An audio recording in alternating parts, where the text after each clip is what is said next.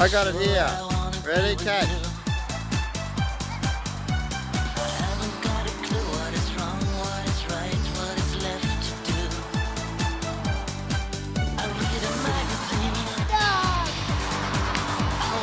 Like it? Faster? Where's the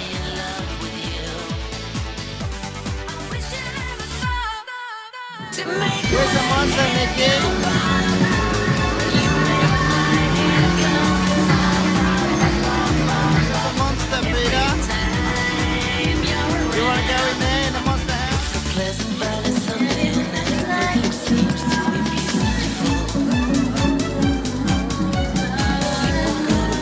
Have good fun, mummy.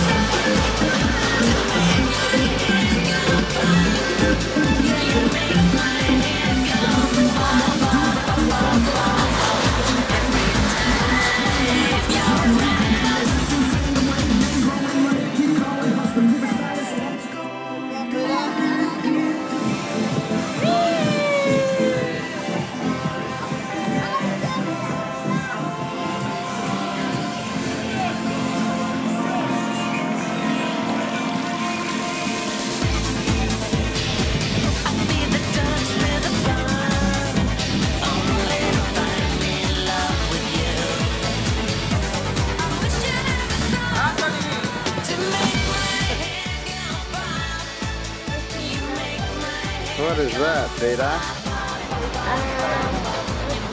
No, no, no. It's a sparkler. Sparkle.